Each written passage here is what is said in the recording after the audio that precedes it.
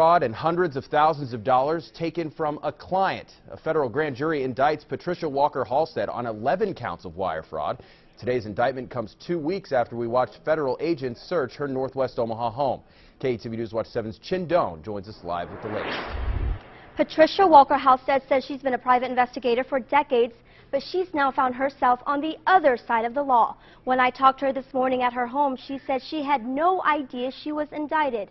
But then this afternoon, sitting with her attorney, she shared her side of the story. But, but Sitting in her attorney's office, Patricia Walker Halstead says she was only trying to help her client.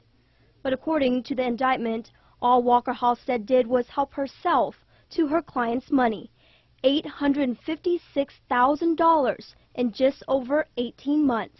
The client first contacted Walker Halstead in March 2011 to investigate a stalking case and provide security services. She wanted my services 24-7. There were weeks uh, when I worked 80, 90 hours a week up until the middle of the night. Walker Halstead ran Walker investigations from her home at 115th and Reed Circle, and according to the indictment, claimed she had enough evidence against the stalker to go to trial. I investigated numerous people for her, surveillance, did backgrounds. I just completely had her as a client.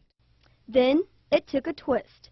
According to the indictment, Walker Halstead had so much evidence that she wanted to take it to an investigator with the Nebraska State Patrol named Scott. Investigators say that person doesn't exist, but Walker Halstead convinced her client Scott could be a future love interest and possible marriage partner. And then allegedly sent her client emails regarding Scott's financial problems and said he needed help. The indictment details 11 emails sent from Walker Halstead to her victim that were allegedly from Scott, referencing a secret relationship, massive debt, and expenses, and one that asked the victim to delete and destroy previous emails and correspondences between them. there was never any emails where there was ever a request from Scott for money. The indictment alleges Walker Halstead did not perform investigative work, develop evidence, or other materials. Instead, it claims she used the money for gambling expenses and to make purchases of goods and services for her own use, including this 27 GMC Terrain investigators seized. A big part of the Secret Service's role in working financial crimes is trying to give relief to the victims. And the Secret Service tells me this is one of the largest fraud cases they've investigated lately.